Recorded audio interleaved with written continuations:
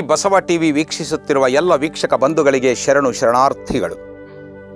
ವೀಕ್ಷಕ ಬಂಧುಗಳೇ, ನಾವು ಹಿಂದಿನ ಸಂಚಿಕೆಯೊಂದರಲ್ಲಿ ಗುರುವಿನ ದಾಸನಾದಂತಹ ಶಿಷ್ಯನೊಬ್ಬ ಗುರುವೇ ಆಗುವಂತಹ ಪರಿಣಾಮವನ್ನು ಅನುಭವಿಸುತ್ತಾನೆ ಎನ್ನುವುದನ್ನು ಗಮನಿಸುತ್ತಿದ್ದೆವು. ಪರ ವಧುವ ನೆರೆಯದೆ, ಪರವಧುವ ನೆರೆಯದೆ, ಪರಧನವ ತುಡುಕದೆ ಪರದೈವದಿಚ್ಛೆ ಒಡೆಯದೆ. ಗುರು ಲಿಂಗ ಜಂಗಮಗಳಿಗೆ ವರದಾಸನಾಗಿದ್ದರೆ ಅವನು ಧರೆ ಮೂರಕ್ಕೂ ಗುರುವಾಗಿಪ್ಪನೈ ರಾಮನಾಥ ಎನ್ನುವ ವಚನದಲ್ಲಿ ಯಾವತ್ತೂ ಒಬ್ಬ ಶಿಷ್ಯನಾದವನು, ಶಿವಭಕ್ತಿಯಲ್ಲಿ ತೊಡಗಿಸಿಕೊಂಡಿರ್ತಕ್ಕಂಥವನು, ಒಬ್ಬ ಜೀವಿ, ಸಾಧನೆಯ ಪಥದಲ್ಲಿ ಸಾಗುತ್ತಿರುವಂತಹ ಒಬ್ಬ ವ್ಯಕ್ತಿ ಪರ ವಧುವ ನೆರೆಯಬಾರದು ಪರವಧುವಿಗೆ ಆಗಿ ಯಾವತ್ತೂ ಆಸೆ ಪಡಬಾರದು ಪರವಧುವನ್ನು ಕೂಡಬಾರದು. ಪರಸ್ತ್ರೀ ಸಂಘ ಎಂಬುದು ಇರಬಾರದು. ಪರಧನವನ್ನು ಕದಿಯಬಾರ ಬೇರೆಯವರ ಸಂಪತ್ತನ್ನು ಆಸೆ ಪಡಬಾರದು ಬೇರೆಯವರ ಸಂಪತ್ತನ್ನು ಕದಿಯಬಾರದು. ಬೇರೆಯ ದೈವವನ್ನು ಕುರಿತು ಆಲೋಚಿಸಬಾರದು ಎನ್ನುವುದನ್ನು ನೋಡುತ್ತಿದ್ದೆವು. ಆ ಮೂರು ಇಲ್ಲದೇ ಇರುವಾಗ ಅವನು ಗುರು, ಲಿಂಗ, ಜಂಗಮಗಳಿಗೆ ದಾಸನಾಗಿ, ಸೇವಕನಾಗಿ ಇದ್ದಲ್ಲಿ ನಿಷ್ಠೆಯಿಂದ ಇದ್ದಲ್ಲಿ, ಗುರುಲಿಂಗ ಜಂಗಮಗಳ ಸೇವೆ ಮಾಡುತ್ತಿದ್ದಲ್ಲಿ ಖಂಡಿತವಾಗಿಯೂ ಅವನೇ ಗುರು ಆಗುತ್ತಾನೆ ಮೂರು ಲೋಕಕ್ಕೂ ಅವನೇ ಶ್ರೇಷ್ಠನಾಗುತ್ತಾನೆ ಎನ್ನುವುದನ್ನು ನೋಡುತ್ತಿದ್ದೆವು. ಆ ವಚನದಲ್ಲಿ ಮೊದಲನೆಯ ಸಾಲಿನಲ್ಲಿಯೇ ಪರವಧುವ ನೆರೆಯದೆ ಎನ್ನುವಂತಹ ಮಾತು ಬಂದಿತ್ತು. ಅದನ್ನೇ ಮುಂದುವರಿಸುತ್ತಿದ್ದಾರೇನೋ ಎನ್ನುವಂತಿರುವ ದಾಸಿಮಯ್ಯನವರ ಮತ್ತೊಂದು ವಚನದಲ್ಲಿ ಏನಿದೆ ಅಂದರೆ, ಆ ವಚನವನ್ನು ನಿಮ್ಮ ಮುಂದೆ ಪ್ರಸ್ತಾಪಿಸಲಿಚ್ಛಿಸುತ್ತೇನೆ ಗುರು ನಿರೂಪವ ಮರೆತು. ನಿರೂಪ ಎಂದರೆ ಇಲ್ಲಿ ಆಜ್ಞೆ, ಆದೇಶ. ಗುರು ನಿರೂಪವ ಮರೆತು ಪರವಧುವ ನೆರೆವರು ಪರವಧುವನ್ನು ಅಳುಪುವವರು, ಗುರುವಿಲ್ಲ ಅವರಿಗೆ. ಪರವಿಲ್ಲ ಅವರಿಗೆ, ಇಂತಪ್ಪ ನರಕಿಗಳನ್ನು ಎನಗೊಮ್ಮೆ ತೋರದಿರ ರಾಮನಾಥ? ಭವಿಗಳಾಗಿರ್ತಕ್ಕಂಥವ್ರನ್ನ ಎನ್ನತ್ತ ತಾರದಿರ ಅಂತ ಹೇಳಿದ್ರು ಒಂದು ವಚನದಲ್ಲಿ ದಾಸಿಮಯ್ಯನವರು. ಇಲ್ಲಿ ಹೇಳ್ತಾ ಇದ್ದಾರೆ, ಈ ಭವಕ್ಕೆ ಅಂಟಿಕೊಂಡಿರುವಂತಹ ಕೆಲವು ದುಷ್ಪ್ರವೃತ್ತಿಗಳನ್ನು ರೂಢಿಸಿಕೊಂಡಿರುವಂತಹ ಜನಗಳಿದ್ದಾರಲ್ಲ, ಅಂತಹವರು ಸದಾ ಹಿಂಸಾ ಕೂಪದಲ್ಲಿಯೇ ಬಿದ್ದಿರುತ್ತಾರೆ. ಅವರು ನರಕಿಗಳು. ನರಕ ಎಂದರೆ ಮತ್ತೆಲ್ಲೋ ಇಲ್ಲ. ಮೊದಲು ಮೊದಲನೆಯ ಸಾಲನ್ನು ಸ್ವಲ್ಪ ಗಮನಿಸೋಣ. ಗುರು ನಿರೂಪವ ಮರೆತು. ಗುರುವಾಗಿರ್ತಕ್ಕಂಥವರು ವಿದ್ಯಾದಾನ ಮಾಡುವಾಗ ತಮ್ಮ ಮಕ್ಕಳಿಗೆ ಅಥವಾ ವಿದ್ಯಾರ್ಥಿಗಳಿಗೆ ಕಲಿಸುವ ಸಂದರ್ಭದಲ್ಲಿ ತಮ್ಮ ಶಿಷ್ಯರಿಗೆ ಒಳ್ಳೆಯ ಮಾತುಗಳನ್ನು ಹೇಳುತ್ತಾ ಹೇಳುತ್ತಾ ಒಳ್ಳೆಯ ಸಂಸ್ಕಾರವನ್ನು ಕೊಟ್ಟಿರುತ್ತಾರೆ. ಹೀಗಿರಬೇಕು ಹೀಗಿರಬೇಕು ಎನ್ನುವುದನ್ನು ಹೇಳಿಕೊಟ್ಟಿರುತ್ತಾರೆ. ಅಧ್ಯಾಪನವೆಂಬುದು ಕೇವಲ ಪಠ್ಯಪುಸ್ತಕಗಳಲ್ಲಿದ್ದದ್ದನ್ನು ತಿಳಿಸಿ ಹೇಳುವುದಷ್ಟೇ ಅಲ್ಲ. ಪಠ್ಯಪುಸ್ತಕ ಒಬ್ಬ ಯಶಸ್ವಿ ಅಧ್ಯಾಪಕನಿಗೆ ಕೇವಲ ಅದೊಂದು ನೆಪ ಮಾತ್ರ. ಪಠ್ಯ ಪುಸ್ತಕದಲ್ಲಿರುವ ವಿಚಾರಗಳನ್ನು ತಿಳಿಸುತ್ತಾ ತಿಳಿಸುತ್ತಾ ಅವನು ಸಮಾಜಕ್ಕೆ ಒಬ್ಬ ಸಂಸ್ ಸುಸಂಸ್ಕೃತ ವ್ಯಕ್ತಿಯನ್ನು ರೂಪಿಸಬೇಕು. ಅಂತಹ ಸುಸಂಸ್ಕೃತ ಸಮಾಜವನ್ನು ಕಟ್ಟುವ ನಿಟ್ಟಿನಲ್ಲಿ ಗುರುಗಳು ಯತ್ನಿಸುತ್ತಾರೆ. ಅಂತಹ ಗುರು ಮಹತ್ವದ ಪಾತ್ರವಿದೆ. ಅಂತಹ ಗುರುವಿನದು ಮಹತ್ವದ ಪಾತ್ರವಿದೆ ಈ ಸಮಾಜದಲ್ಲಿ. ಪಠ್ಯಗಳನ್ನು ಬೋಧಿಸುತ್ತಾ ಬೋಧಿಸುತ್ತಾ ಹೀಗಿರಬೇಕು ಹೀಗಿರಬೇಕು ಎಂದು ತಮ್ಮ ವಿದ್ಯಾರ್ಥಿಗಳಿಗೆ ಕಲಿಸುತ್ತಾ ಕಲಿಸುತ್ತಾ ಅವರನ್ನು ಒಳ್ಳೆಯ ಪ್ರಜೆಗಳನ್ನಾಗಿ ರೂಪಿಸಿರುತ್ತಾರೆ ಗುರುಗಳು. ಗುರುಗಳು ಹೇಳಿಕೊಟ್ಟದ್ದನ್ನು ವಿದ್ಯಾರ್ಥಿಗಳು ಆ ಗುರುಕುಲದಿಂದಲೋ, ಆ ಶಾಲಾ ಕಾಲೇಜುಗಳಿಂದಲೋ ಹೊರಗೆ ಬಂದ ನಂತರ ಗುರುಗಳು ಕಲಿಸಿಕೊಟ್ಟದ್ದನ್ನು ಮರೆತು ಎಲ್ಲವನ್ನು ತುಚ್ಚೀಕರಿಸಿ ಮತ್ತೆ ಈ ಭೋಗ ಲಾಲಸೆಯ ಪ್ರವೃತ್ತಿಗಳನ್ನು ರೂಢಿಸಿಕೊಂಡು ಬಿಟ್ಟರೆ ಖಂಡಿತ ಅವರು ಆತ್ಮೋದ್ಧಾರಕ್ಕೆ ಸಾಧ್ಯವಾಗುವುದೇ ಇಲ್ಲ. ಅವರು ಈ ಸಮಾಜಕ್ಕೆ ಘಾತಕರಾಗುತ್ತಾರೆ. ಗುರುಗಳು ಹೇಳಿಕೊಟ್ಟದ್ದನ್ನು ಮರೆಯಬಾರದು. ಗುರು ನಮ್ಮಲ್ಲಿರ್ತಕ್ಕಂಥ ಅಜ್ಞಾನವನ್ನು ಹೋಗಲಾಡಿಸಿ ಜ್ಞಾನದ ಬೆಳಕನ್ನು ಕೊಟ್ಟವರಲ್ಲವೇ? ನಮ್ಮಲ್ಲಿದ್ದಂಥ ಅಜ್ಞಾನದ ತಿಮಿರವನ್ನು ತೊಡೆದು ಹಾಕಿದವರಲ್ಲವೇ? ನಮ್ಮ ಬದುಕನ್ನು ರೂಪಿಸಿದವರಲ್ಲವೇ? ಅಂಥ ಬದುಕನ್ನು ರೂಪಿಸಿಕೊಳ್ಳುವ ಮಾರ್ಗವನ್ನು ತೋರಿಸಿ ನಮ್ಮನ್ನು ಸಮಾಜಕ್ಕೆ ಕಳುಹಿಸಿಕೊಟ್ಟಾಗ ಗುರುವಿನ ನಿರೂಪಗಳನ್ನೆಲ್ಲ ಮರೆತು, ಅಂದರೆ ಗುರುವಿನ ಆಜ್ಞೆಯನ್ನು ಮರೆತು, ಪರವಧುವಿಗೆ ಅಳುಪುವವರು ಪರವಧುವನ್ನು ಕೂಡುವವರು ಪರವಧು ಅಂದರೆ ನೆರೆ ಅಂದರೆ ಕೂಡುವುದು. ಪರವದು ಪರಸ್ತ್ರೀಯನ್ನು ಕೂಡಿದರೆ ಗುರುಗಳ ಮಾತನ್ನು ಮೀರಿ ಪರಸ್ತ್ರೀ ಸಹವಾಸ ಮಾಡುವುದು. ಪರವಧುವಿಗೆ ಅಳುಪುವುದು. ಅಳುಪುವುದು ಅಂದರೆ ಬಯಸುವುದು. ಪರಸ್ತ್ರೀಯನ್ನು ಬಯಸುವವರು ಇದ್ದಾರಲ್ಲ, ಇವರಿಗೆ, ಇವರ ಪಾಲಿಗೆ ಗುರುವಿಲ್ಲ.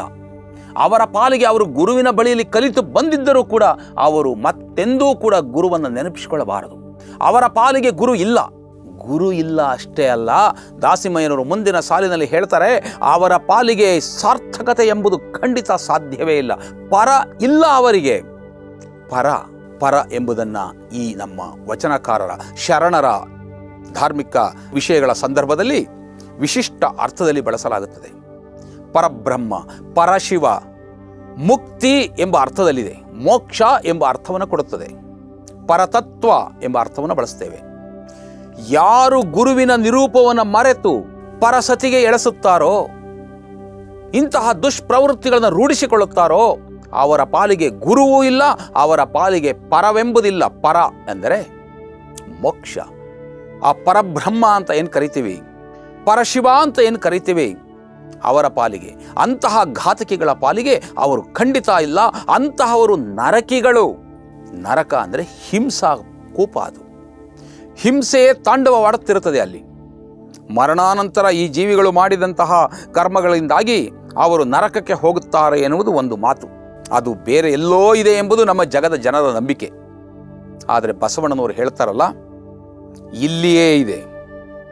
ಸ್ವರ್ಗ ನರಕಗಳೆಂಬುವು ಬೇರೆ ಎಲ್ಲೋ ಆಕಾಶದ ಮೇಲೋ ಪಾತಾಳದಲ್ಲಿಯೋ ಇಲ್ಲ. ಅಯ್ಯ, ಎಂಬುದು ಸ್ವರ್ಗ. ಎಲ್ಲವೋ ಎಂದಡೆ ನರಕ. ಅಯ್ಯ ಅಂತ ನಾವು ಒಬ್ಬೊಬ್ಬರನ್ನು ಗೌರವದಿಂದ ಮಾತನಾಡಿಸಿದರೆ, ನನ್ನ ಎದುರಿಗೆ ಬಂದವರನ್ನ, ನನ್ನ ಪರಿಚಯಸ್ಥರನ್ನ ನಾನು ಗೌರವದಿಂದ ಮಾತನಾಡಿಸಿದ್ದೆ ಆದರೆ ಅವರು ನನಗೆ ಗೌರವವನ್ನು ಕೊಡುತ್ತಾರೆ. ಅಲ್ಲಿ ಗೌರವ ಗೌರವಗಳು ವಿನಿಮಯವಾಗುತ್ತವೆ. ಅಲ್ಲಿ ಸೌಹಾರ್ದತೆ ಬರ್ತದೆ ಸಮನ್ವಯತೆ ಇರುತ್ತದೆ. ಅಲ್ಲಿ ಸ್ವರ್ಗ, ಸುಖ, ಸಂತೋಷ ಇರುತ್ತವೆ. ಸ್ವರ್ಗ ಎಂದರೆ ಬೇರೆಲ್ಲೋ ಇಲ್ಲ. ನಾವು ಮಾತನಾಡುವ ನಮ್ಮ ನುಡಿ ನಮ್ಮ ನಡೆಯಲ್ಲಿದೆ. ಅಯ್ಯ ಎಂದಡೆ ಸ್ವರ್ಗ. ಅದನ್ನು ಬಿಟ್ಟು ನಾನು ನನ್ನ ಎದುರಿಗೆ ಬಂದವರನ್ನೋ ಅಥವಾ ನನಗೆ ಪರಿಚಿತರನ್ನೋ ಅಪರಿಚಿತರನ್ನೋ ಮಾತನಾಡಿಸುವ ಸಂದರ್ಭದಲ್ಲಿ ದಾರ್ಷ್ಟ್ಯದಿಂದ, ತುಂಬ ದರ್ಪದಿಂದ, ಏಯ್ ಲೇ ಎಲವೋ ಎನ್ನುವ ಪದಗಳನ್ನು ಬಳಸಿದ್ದೇ ಆದರೆ ಬಹಳ ಬಹಳ ಕೆಟ್ಟ ಸ್ವಭಾವ ಇದು. ಎಲವೋ ಎಂಬುದು, ಅಂದರೆ ನಾನು ಮಾತನಾಡ್ತಕ್ಕಂಥ ಮಾತಿನ ರೀತಿ ಇದೆಯಲ್ಲ, ಮತ್ತೊಬ್ಬರನ್ನ ಏಕವಚನದಲ್ಲಿ ಸಂಬೋಧಿಸುವುದು, ಇದು ನನ್ನಲ್ಲಿರುವಂಥ ಕೆಳಮಟ್ಟವನ್ನು ಸೂಚಿಸುತ್ತದೆ. ಮತ್ತೊಬ್ಬರನ್ನ ಗೌರವಿಸಿ, ಅಯ್ಯ ಎಂದಡೆ ನಾವೇನು ಕಳೆದುಕೊಳ್ಳುವುದಿಲ್ಲ. ಅಯ್ಯ ಎಂದು ಮಾತನಾಡಿಸುವುದರಿಂದ ಗೌರವ ಕೊಡುವುದರಿಂದ ನಾವು ಮತ್ತೊಬ್ಬರಿಂದ ಗೌರವವನ್ನು ಸಂಪಾದಿಸಬಹುದು. ನಮ್ಮಲ್ಲಿ ನೋಡ್ತೀವಲ್ಲ, ಇವತ್ತಿನ ಸಮಾಜದಲ್ಲಿ ನೋಡ್ತೇವೆ, ಬಹಳ ಬಹಳ ಅವಾಚ್ಯವಾದ ಶಬ್ದಗಳನ್ನು ಬಳಸುತ್ತಾ, ಯಾವ ಯಾವ ಸನ್ನಿವೇಶದಲ್ಲಿ ಎಂತೆಂಥ ಪದಗಳನ್ನು ಪ್ರಯೋಗಿಸಬೇಕು ಎನ್ನುವಂಥ ಔಚಿತ್ಯವೇ ಗೊತ್ತಿಲ್ಲದೆ ಮಾತನಾಡುವ ಜನಗಳನ್ನು ನೋಡ್ತೇವೆ. ಹೆಣ್ಣನ್ನು ಯಾವ ರೀತಿ ಮಾತನಾಡಿಸಬೇಕು? ಒಬ್ಬ ಹೆಣ್ಣು ಮಗಳನ್ನು ಹೇಗೆ ಗೌರವಿಸಬೇಕು? ಅದೇ ನಮ್ಮಲ್ಲಿ ಸಭ್ಯತೆ. ಸಭ್ಯತೆ ಇರಬೇಕು. ಅಲ್ಲಿ ಎಷ್ಟು ಜನಕ್ಕೆ ಇದೆ? ಎಲ್ಲಿ ಬರೀ ಅವಾಚ್ಯವಾದ ಶಬ್ದಗಳನ್ನೇ ಬಳಸುತ್ತಾ ಬಳಸುತ್ತಾ ಪರಸ್ಪರ ರೂಢಿಸಿಕೊಳ್ತಾರೋ ಅಲ್ಲಿ ಖಂಡಿತವಾಗಿಯೂ ಕೂಡ ಸೌಹಾರ್ದತೆ ಇರುವುದಿಲ್ಲ. ಅಲ್ಲಿ ಬರೀ ಒಡಕಿನ ಮನೋವೃತ್ತಿಗಳು. ಅಲ್ಲಿ ಬರೀ ಹಿಂಸೆ ತಾಂಡವವಾಡುತ್ತದೆ ಅಷ್ಟೇ, ಬಡಿದಾಟ ಹೊಡೆದಾಟಗಳು ಆಗುತ್ತವೆ ಆದ್ದರಿಂದ ನಾವು ನಮ್ಮ ನುಡಿಯ ಮೂಲಕ ಸೌಜನ್ಯತೆಯಿಂದ ಸೌಮ್ಯೋಕ್ತಿಗಳಲ್ಲಿ ಮಾತನಾಡುವುದನ್ನು ಕಲಿತುಕೊಳ್ಳಬೇಕು. ನರಕ ಅಂದರೆ ಮತ್ತೆಲ್ಲೋ ಇಲ್ಲ, ಹಿಂಸೆ ಇಲ್ಲಿಯೇ ಆಗಿಬಿಡುತ್ತದೆ ಅಷ್ಟೇ ಅದು. ಆ ನರಕಗಳಲ್ಲಿ ಹಲವು ವಿಧಗಳಿವೆ. ಶಿವಾಗಮ ಕೋಶದಲ್ಲಿ ಅದರ ಬಗ್ಗೆನೇ ವಿವರಣೆ ಕೊಡುತ್ತಾರೆ. ನಾನು ಯಾಕೆ ಇಲ್ಲಿ ಇದನ್ನು ಪ್ರಸ್ತಾಪ ಮಾಡ್ತಾ ಇದ್ದೇನೆ ಅಂದರೆ, ಯಾರು ಗುರುವಿನ ಆಜ್ಞೆಯನ್ನು ಮರೆತು ವರ್ತಿಸುತ್ತಾರೋ, ಗುರು ಕಲಿಸಿಕೊಟ್ಟದ್ದನ್ನು ಬಿಟ್ಟು ಮುಂದೆ ಹೋಗುತ್ತಾರೋ ಅಂಥವರು ಖಂಡಿತವಾಗಿಯೂ ಕೂಡ ಸಾರ್ಥಕತೆಯನ್ನು ಪಡೆಯುವುದಿಲ್ಲ. ತಮ್ಮ ಜೀವನವನ್ನು ವ್ಯರ್ಥ ಮಾಡಿಕೊಳ್ಳುತ್ತಾರೆ. ಅಷ್ಟೇ ಅಲ್ಲ, ಬದುಕಿರುವಾಗ ಬಹಳ ಹಿಂಸೆಯನ್ನು ಅನುಭವಿಸಬೇಕಾಗುತ್ತದೆ. ಅಂತಹ ನರಕಿಗಳನ್ನು ಎನ್ನತ್ತ ತಾರದಿರ ರಾಮನಾಥ ಎನ್ನುತ್ತಾರೆ. ದಾಸಿಮಯ್ಯನವರು ತಾವು ಬಳಸ್ತಕ್ಕಂತಹ ಶಬ್ದಗಳಲ್ಲಿ ನಾನೀಗಾಗಲೇ ಹಿಂದಿನ ಸಂಚಿಕೆಗಳಲ್ಲಿ ಮತ್ತೆ ಮತ್ತೆ ಹೇಳಿದ್ದೆ, ಮತ್ತೂ ನೆನಪಿಸುತ್ತಿದ್ದೇನೆ. ಭಾಷೆ ಸ್ವಲ್ಪ ನಿಷ್ಠುರ ಭಾಷೆ ಎನಿಸುತ್ತದೆ ಸರಳವಾಗಿ ವಚನಗಳನ್ನು ಹೇಳುತ್ತಿದ್ದರೂ ಕೂಡ ಸಮಾಜದಲ್ಲಿ ಕಂಡುಬರುವಂತಹ ಕೆಲವು ಖಂಡನೀಯ ವಿಚಾರಗಳನ್ನು ಯಾವ ದಾಕ್ಷಿಣ್ಯವಿಲ್ಲದೆ ಖಂಡಿಸುತ್ತಾರೆ. ಹೀಗಿರಬೇಕು ಎಂಬುದನ್ನು ನೇರವಾಗಿ ತಮ್ಮ ವಿಷಯಗಳನ್ನು ಮಂಡಿಸುತ್ತಾರೆ. ಕೆಲವೆಡೆ ಸೌಮ್ಯವಾಗಿ ವಿಡಂಬಿಸುತ್ತಾರಾದರೂ ಕೆಲವೆಡೆ ಸಮಾಜದಲ್ಲಿ ಕಂಡುಬರುವಂತಹ ಲೋಪದೋಷಗಳನ್ನು, ಅಲ್ಲಿ ಕಂಡುಬರುವಂತಹ ಕೆಲವು ಮೌಢ್ಯದ ವಿಚಾರಗಳನ್ನು ನೇರವಾಗಿ ಖಂಡಿಸುತ್ತಾರೆ. ಹೆಣ್ಣು ಮಕ್ಕಳನ್ನು ಹೇಗೆ ನೋಡಿಕೊಳ್ಳಬೇಕು? ಹೇಗೆ ಕಾಣಬೇಕು? ಇವತ್ತು ನೋಡ್ತಾ ಇದ್ದೇವೆ, ಸ್ತ್ರೀ ಸಮಾನತೆಯ ಬಗ್ಗೆ ದೊಡ್ಡ ದೊಡ್ಡ ಭಾಷಣಗಳನ್ನು ಮಾಡುವ, ಸ್ತ್ರೀವಾದಿ ಲೇಖಕಿಯರು ಅಂತ ಹೇಳಿಕೊಂಡು ದೊಡ್ಡ ದೊಡ್ಡ ಪುಟಗಟ್ಟಲೆ ಕತೆ ಕಾದಂಬರಿಗಳನ್ನು ಬರೆಯುವ, ಹೆಣ್ಣೆ ಹೆಣ್ಣಿಗೆ ಶತ್ರುವಾಗಿರುವ ಅನೇಕ ವಿದ್ಯಮಾನಗಳನ್ನು ಇವತ್ತು ಗಮನಿಸ್ತಾ ಇದ್ದೇವೆ. ಲಿಂಗ ಭೇದ ಅಂತ ಏನು ಕರಿತೀವಿ? ಇವತ್ತು. ಅದು ಇವತ್ತಿನದೇನಲ್ಲ. ಲಿಂಗ ಭೇದ ಅಥವಾ ಲಿಂಗದ ಅಸಮಾನತೆ ಇದೆಯಲ್ಲ, ಲಿಂಗ ತಾರತಮ್ಯ, ನೀನು ಗಂಡು ಹೆಣ್ಣು ಎನ್ನುವಂಥ ಭಾವನೆ ಇದೆಯಲ್ಲ, ಗಂಡು ಮೇಲು ಹೆಣ್ಣು ಕೀಳು ಎನ್ನುವ ಭಾವ ಇದು ಇವತ್ತಿನದಲ್ಲ. ಶತ ಶತ ವಚನಕಾರರ ಸಮಯದ್ದೂ ಅಲ್ಲ, ಅದಕ್ಕಿಂತಲೂ ಹಿಂದಿನಿಂದಲೂ ಇರುವಂಥದ್ದೇ ಇದು. ವೇದಗಳ ವೇದ ಪೂರ್ವದ ನಾಗರಿಕತೆಯನ್ನು ನಾವು ಗಮನಿಸಿದರೆ, ಅಲ್ಲಿಯೂ ಕೂಡ ಹೆಣ್ಣು ಮೋಕ್ಷಕ್ಕೆ ಅರ್ಹಳಲ್ಲ ಯಾವುದೋ ಸ್ಮೃತಿಯಲ್ಲಿ ಹೇಳಿತ್ತಂತೆ ಅದನ್ನೇ ಪಾಲಿಸಿಕೊಂಡು ಬಂದಿರತಕ್ಕಂಥ ಈ ಜಗದ ಜನರ ನಂಬಿಕೆ ಅದು. ನಮಗೆಲ್ಲ ಗೊತ್ತಿದೆ. ಹೆಣ್ಣು ಮತ್ತು ಗಂಡು ಕೇವಲ ಭೌತಿಕವಾಗಿ ದೇಹವನ್ನು ನೋಡಿ ಅವರನ್ನು ನಾವು ಹೆಣ್ಣು, ಗಂಡು ಎಂದು ಗುರುತಿಸುತ್ತೇವೆ. ಅವರಲ್ಲಿರುವ ಜ್ಞಾನ, ಅವರಲ್ಲಿರುವಂತಹ ಶಕ್ತಿ, ಅವರಿಗೆ ದತ್ತವಾಗಿರುವ ನಿಸರ್ಗದತ್ತವಾದ ಶಕ್ತಿ, ಅವು ಒಬ್ಬೊಬ್ಬರಿಗೂ ವಿಶಿಷ್ಟವಾಗಿದೆ. ದಾಸಿಮಯ್ಯನವರ ಯಾವ ವಚನ ಇಲ್ಲಿ ಪ್ರಸ್ತಾಪ ಆಗುತ್ತದೆ ಅನ್ನೋದು ನಿಮಗೆ ನೆನಪಾಗೈತೆ ಈಗಾಗಲೇ. ಮೊಲೆ ಮುಡಿ ಬಂದರೆ ಹೆಣ್ಣೆಂಬಿರಿ, ಗಡ್ಡ ಮೀಸೆ ಬಂದರೆ ಗಂಡೆಂಬಿರಿ. ನಡುವೆ ಸುಳಿವ ಆತ್ಮ ಹೆಣ್ಣು ಅಲ್ಲ, ಗಂಡು ಅಲ್ಲ ಕಾಣ ರಾಮನಾಥ.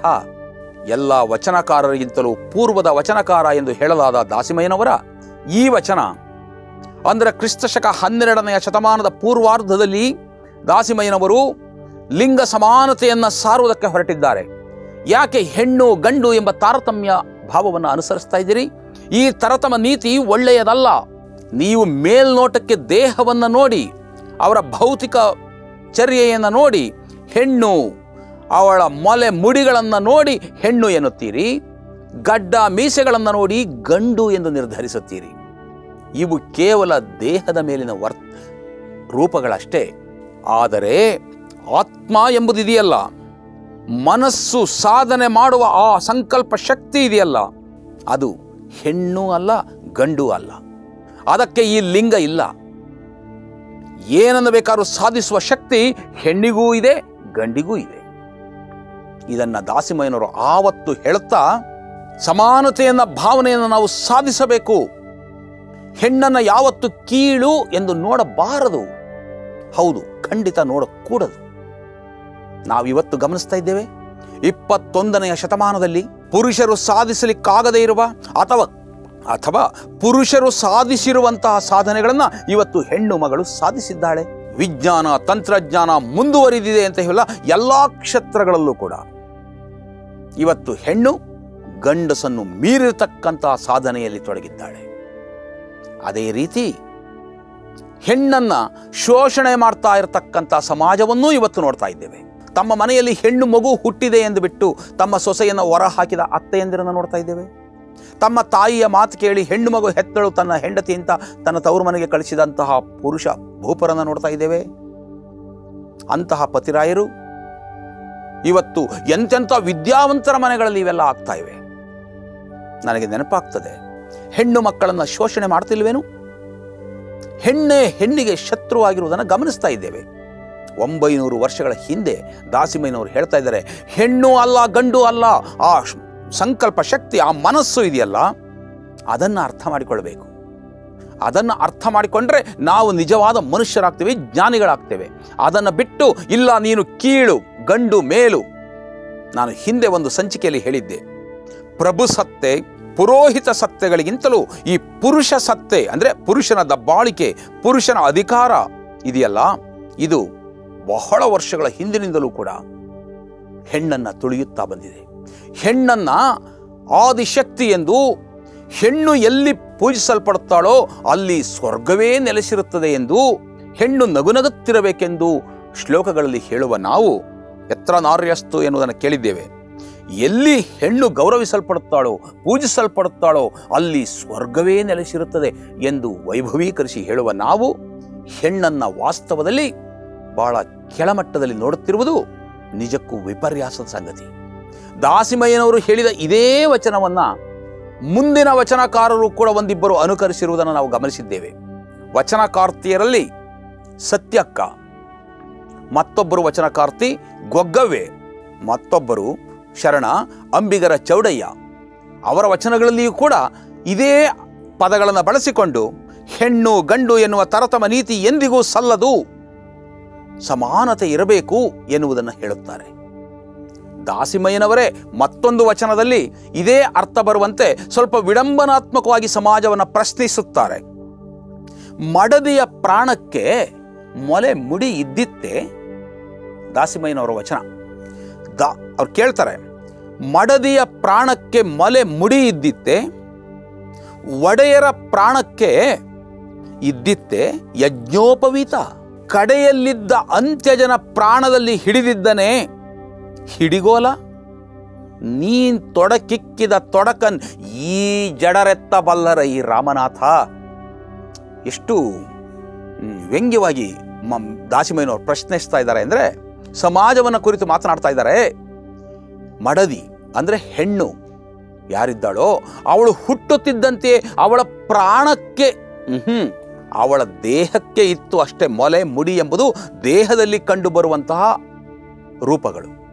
ಅವಳ ಪ್ರಾಣಕ್ಕಲ್ಲ ಇರುವುದು ಮಡದಿಯ ಪ್ರಾಣದಲ್ಲಿ ಇದ್ದಿತ್ತೆ ಮೊಲೆ, ಮುಡಿ.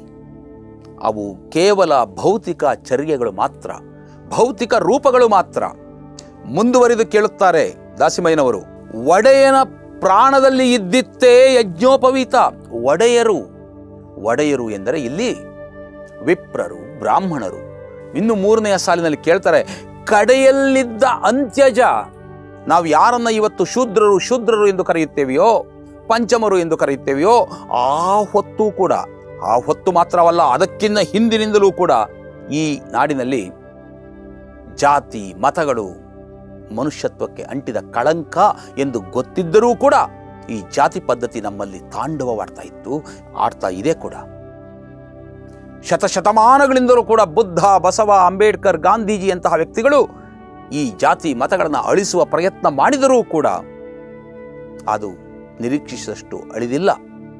ಇನ್ನೂ ಉಳಿದಿರುವುದು ನಮ್ಮ ದುರಂತ. ಕೇವಲ ನಮ್ಮ ಕವಿಗಳು, ನಮ್ಮ ದೊಡ್ಡ ದೊಡ್ಡ ತತ್ವಜ್ಞಾನಿಗಳು ಮಾತ್ರವಲ್ಲ, ನಮ್ಮ ನಮ್ಮ ದಾರ್ಶನಿಕರು ಈ ಜಾತೀಯತೆಯನ್ನು ಖಂಡಿಸುತ್ತಾರೆ. ಕೇಳ್ತಾ ಇದ್ದಾರೆ ದಾಸಿಮಯ್ಯನವರು ಇಲ್ಲಿ ಕಡೆಯಲ್ಲಿದ್ದ ಅಂತ್ಯಜ ಅಂತಹ ಅಂತ್ಯಜ ಇದ್ದಾನಲ್ಲ, ಅವನೇನು ಅವನ ಪ್ರಾಣದಲ್ಲಿ ಹಿಡಿದಿದ್ದಾನೆ? ಕಡೆಗೋಲ? ಕಡೆಗೋಲು. ಕಡೆಗೋಲು ಅಂದರೆ ಕಡೆಯುವ ಕೋಲಲ್ಲ ಈ ಮೊಸರು ಕಡಿಯಲಿಕ್ಕೆ ಬಳಸ್ತೀವಲ್ಲ, ಕಡೆಗೋಲು ಅದಲ್ಲ. ಅವರು ಹೇಳುತ್ತಿರುವುದು ಬಹಳ ಸ್ವಾರಸ್ಯಕರವಾದ ಒಂದು ಪದ ಇದು.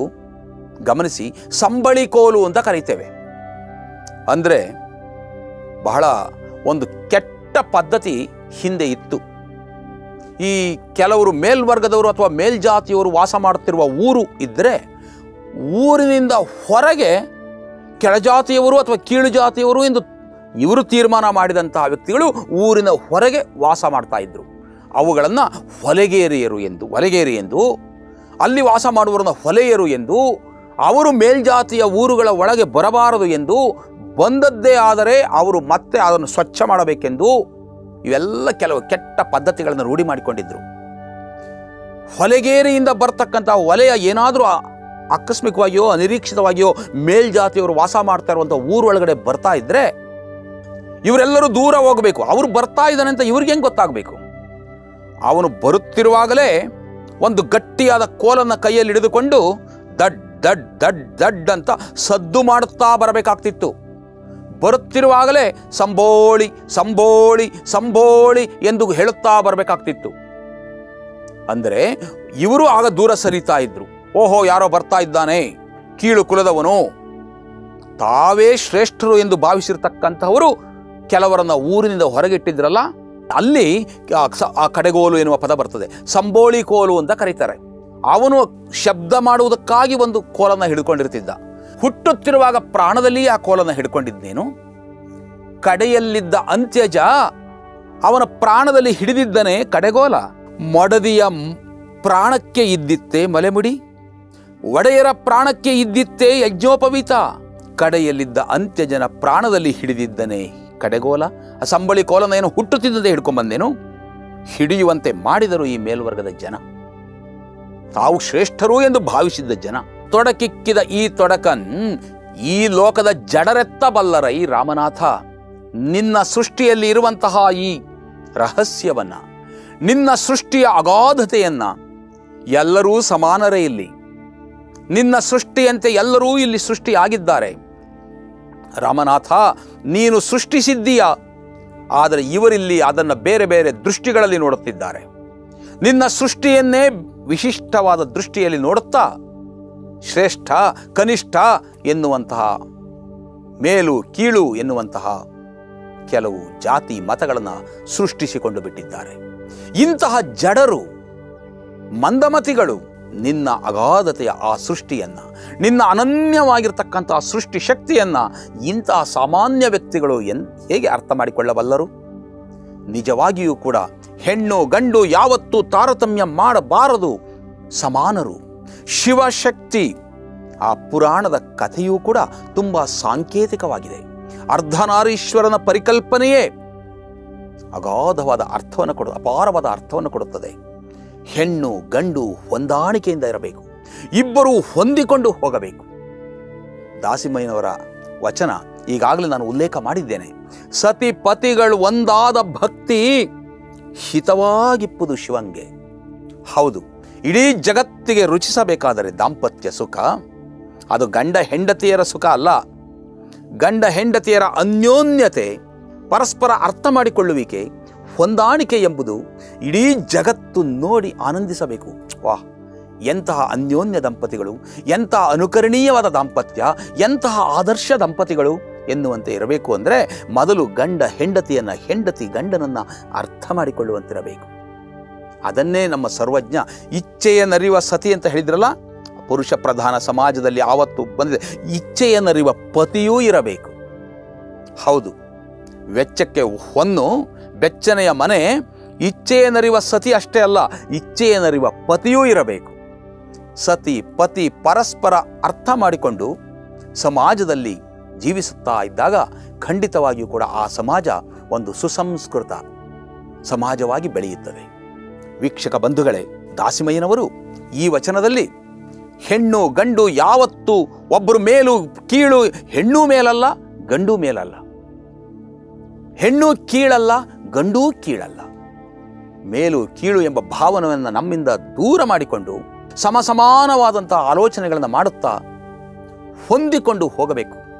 ಇದು ಸಮಾಜಕ್ಕೆ ದಾಸಿಮಯ್ಯನವರು ಕೊಡುತ್ತಿರುವ ಸಂದೇಶ. ಇಂತಹ ಸಂದೇಶಗಳನ್ನು ನಾವು ಕೇಳಿಸಿಕೊಳ್ಳುತ್ತಾ ಇಂತಹ ವಚನಗಳನ್ನು ಓದುತ್ತಾ ನಾವೂ ಕೂಡ ನಮ್ಮ ನಮ್ಮ ಜೀವನದಲ್ಲಿ ಅನ್ಯೋನ್ಯತೆಯನ್ನು, ಆದರ್ಶಗಳನ್ನು ರೂಢಿಸಿಕೊಳ್ಳೋಣ. ಆ ರೀತಿ ಬದುಕಿದ್ದೇ ಆದರೆ ನಾವು ಬೇರೆಯವರಿಗೆ ಮಾದರಿಯಾಗುತ್ತೇವೆ. ನಿಜವಾಗಿಯೂ ಕೂಡ ನಾವೇ ಇಲ್ಲಿ ಗಂಡು ಶ್ರೇಷ್ಠ ಎಂದಾಗಲಿ ಅಥವಾ ಜಾತಿಯಲ್ಲಿ ನಾನು ಶ್ರೇಷ್ಠ ಎಂದಾಗಲಿ, ಮತ್ತೊಬ್ಬ ಕನಿಷ್ಠ ಎಂದಾಗಲಿ ದಯವಿಟ್ಟು ಇಂತಹ ತಾರತಮ್ಯ ಭಾವ ಬರಬಾರದು. ಒಳ್ಳೆಯ ಪ್ರಜೆಗಳಾಗಿ, ಸುಸಂಸ್ಕೃತರಾಗಿ ಬದುಕಬೇಕೆಂದರೆ ಮೊದಲು ನಮ್ಮಲ್ಲಿ ವಿಶ್ವ ಭ್ರಾತೃತ್ವ ಭಾವನೆ ಬರಬೇಕು. ನಾವೆಲ್ಲರೂ ಇಲ್ಲಿ ಸಮಾನರು ಎನ್ನುವ ಭಾವವನ್ನು ಹೊಂದೋಣ. ಆ ಮೂಲಕ ನಾವೆಲ್ಲರೂ ಕೂಡ ಈ ವಿಶ್ವದಲ್ಲಿ ಸಹೋದರತ್ವದಿಂದ ಬಾಳೋಣ. ಬಂಧುಗಳೇ, ಇವತ್ತಿನ ಸಂಚಿಕೆಯನ್ನ ಈ ಮೂಲಕ ಮುಗಿಸುತ್ತಿದ್ದೇನೆ. ಶರಣು ಶರಣಾರ್ಥಿಗಳು.